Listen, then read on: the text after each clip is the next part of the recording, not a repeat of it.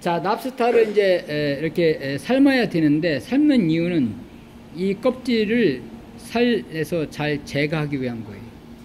그럼 끓을 끓을 때는 데칠 때는 미르프와 쌀을 담근 양파를 집어 넣어 가지고 끓는 물에서 데쳐내야 돼. 이 정도면 약 5분 끓는 물에서 데쳐내면 됩니다. 알겠죠? 자, 그러면 넣어볼게. 자, 랍스타를 이제 에, 이렇게 에, 삶아야 되는데 삶는 이유는 이 껍질을 살에서 잘 제거하기 위한 거예요. 그럼 끓을 끓을 때는 데칠 때는 미르프와 쌀을 담근 양파를 집어 넣어가지고 끓는 물에서 데쳐내야 돼. 이 정도면 약 5분 끓는 물에서 데쳐내면 됩니다. 알겠죠? 자, 그러면 넣어볼게.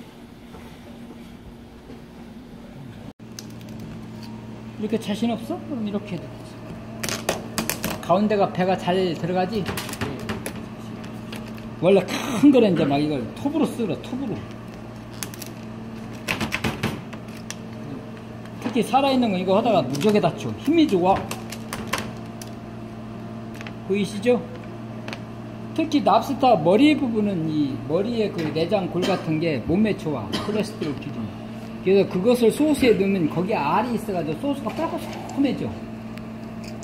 더 소스가 예뻐져. 알았지?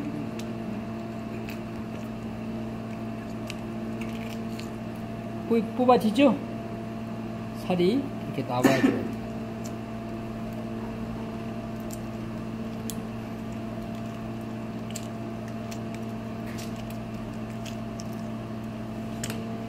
그래서 먹기 좋게 잘라야지.